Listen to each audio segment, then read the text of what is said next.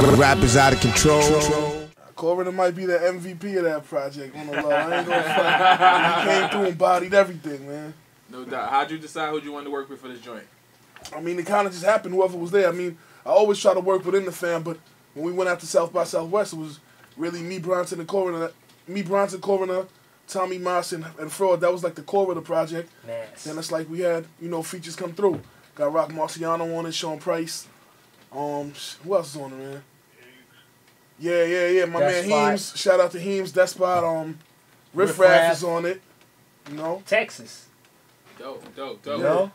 How'd you enjoy your South by? Smoke Dizza. Shout out big to shout Smoke. out to Thurston Smoke. Howe, Thurston J Howe, Love, Third, me, J Love, Hologram, Hologram. everybody. You know, Everybody.